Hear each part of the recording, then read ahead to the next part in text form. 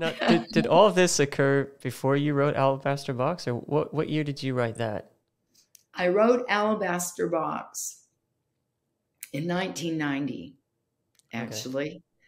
Okay. Um, right, it, it, was uh, 90, 90 or 91, and it was during the time when the Clintons were in our life. And uh, actually, um, he has a wonderful and lovely, very talented friend who was a, a high school friend. And he's, he was very loyal to his circle of friends that were with him in Hot Springs. And she is the one who heard me sing for Ray Charles. And she is the one who said, if you want to get someone, you know, from the Pentecostal movement to sing these songs for your inauguration. You need to get this girl rather than bring someone from outside. Well, that was a God mm. thing because there are, I have always felt humbled. I've felt like that I am the least uh, as far as I think there's so many singers and musicians 10,000 times better than I am. It's just that the Lord kept opening doors for me and mm. I did not seek it. I, I it, it just opened. And so she was the one who called up and said, Would you, you know, Governor Clinton, and he had actually met us before. This is what's funny. When he was the attorney general, he had come to Lonoke and we, we actually met them uh, before he was ever governor. So, you know, God, when you, you, you have to live long enough to see how God has ordered your steps. You need to live long enough and go through enough that you turn around and go, wow, mm, I see how so it true. all fits. It yeah. looked random, wasn't random at all. Mm. I was moving somewhere all this time. And it was powerful. And, and the alabaster box came about because my father in law went back to St. Paul to preach um, he was receiving his four year degree. And um, Brother Norris, who was still alive at that time, invited him to speak on a Sunday morning. And they had a very lengthy song service. And he wanted me to either sing before him or after. And and I said, Well, you know, I, I think people are sung out right now. I think maybe just you need to preach and then I'll I'll follow you up. I'll do I'll do your altar call and never knowing. I mean, I listened. Um, I listened to him preach about the woman with the alabaster box. He, he actually spoke on the three instances where women, whether the same, two different, uh, I, I, you know, there's debate, scholarly debate. The point was that she was unashamed to make herself vulnerable in the presence of people who were not feeling what she was feeling mm. who had absolutely no compunction to be so demonstrative. That got me immediately because I felt an affinity with that testimony because I always felt like I had more to give than was necessarily um, what do I want to say?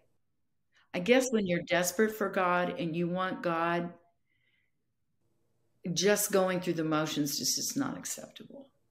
Mm. I was just so hungry. And so my worship tended to be demonstrative before that was accepted. Let me say it like that. Because I needed God so desperately. And so when I saw how she was rejected, because, you know, the same people can sit on the same pew, one of them is absolutely um, hanging on to every word, every word, and the other is like, when's it going to be over? You know, yeah. You, you bring you bring your context to the service, mm. and so I identified with her. And as he began to, I was so moved. I was like, this is me. And I was so utterly moved by what he was preaching. And I was thinking flipping through uh, the Rolodex of my mind, what song will bring this home? Because so many songs can destroy a sermon. it makes or break it. It breaks it, whatever you choose. So I was like, oh Lord. And I was like, I have nothing. So I just got a piece of paper. Seems like it was a tithing envelope. I opened it up and I just started writing in pencil. And then I got up, I went to the piano, and I just made up the melody wow. on the fly right there because mm. I was so, I was so moved. And um, that was the first time I sang it. And then I went home and I think I tightened up some of the lyrics and I formed up the melody line. And I was teaching a Bible study to the president's friend at that time when he was governor. And I sang it for her. And um, during the Bible study, not that particular time, but for the time that we studied together, and I talked to her about those, she got the Holy Ghost at her house. And and then our paths diverged, and she went on her way, and she was raised Southern Baptist, um, and um, I, I, I, I was trying to remember if her father was a Southern Baptist pastor, but um, she sang as a cantor in a Jewish synagogue, and she was so talented and so. Um, but I, you know, our paths crossed. The Lord filled her with the Holy Ghost, and then she went and and went to seminary uh, and became licensed as a United Methodist minister. But she got the Holy Ghost. Mm. I was there when she got it, and um, I, I again, worship has always been the center. I love you, Jesus. I want to know you. Mm. Use me how you want. And and since I was a child, he has occupied my thoughts.